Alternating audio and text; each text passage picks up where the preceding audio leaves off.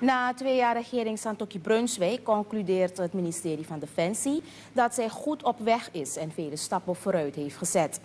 Echter is de organisatie nog niet waar zij moet zijn en daarom wordt het proces van duurzaam verbeteren voortgezet, zei minister Krishna Kumari Mathura vanmorgen tijdens een persconferentie. De bewindsvrouw ging in op de interne organisatie van het ministerie.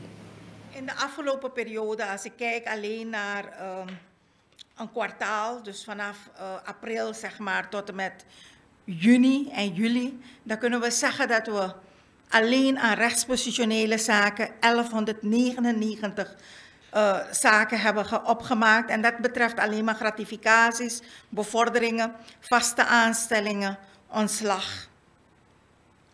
Ja, dat zijn de, de vijf aspecten of vier aspecten waar we aan gewerkt hebben. Ontslag, het zij op eigen verzoek of ontslag, oneervol ontslag.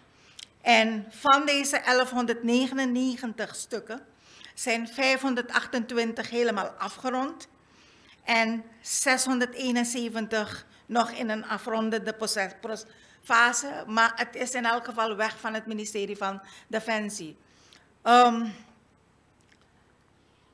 het is nog in een molen van of Binnenlandse Zaken of Raad van Ministers of um, zeg maar het bevoegd gezag, ook de president. Maar van ons weg en wij hebben, we monitoren dat en we proberen zoveel mogelijk dat in orde te maken. Waarnemend bevelhebber Werner Kiwasen is ingegaan op de operaties en de operationele paraatheid van de organisatie. Het Nationaal Leger is continu actief geweest, zegt de bevelhebber. U ziet uh, hoe groot de druk was op het Nationaal Leger. Vandaar dat u niet lang terug ook een mededeling vanuit het ministerie heeft gehad dat wij de onderzoek of de verzoeken vanuit de samenleving uh, willen beperken.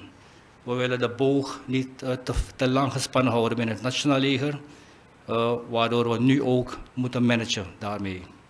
Dus hopelijk um, heeft ook de samenleving begrip daarvoor. Verder, met betrekking tot de operationele paraatheid, dat is niets anders dan het constant competent houden en paraat houden van eenheden, eenheden en materieel. Daar kunnen we uh, eerst kijken naar de capaciteitsversterking. We hebben onze reguliere trainingen en opleidingen, nationaal. Uh, we hebben onze mannen getraind in uh, echt de oorlogstaken. Bijvoorbeeld de militaire operaties in urbane gebieden, dus in bewoonde gebieden. Verder ook de handhaving van openbare orde. Niet lang terug hebben we onze equipment, onze riot gear, ook vernieuwd. En de mannen moesten ook getraind worden daar, daarin. Morgen wordt een groep militairen bevorderd in een naast hogere rang.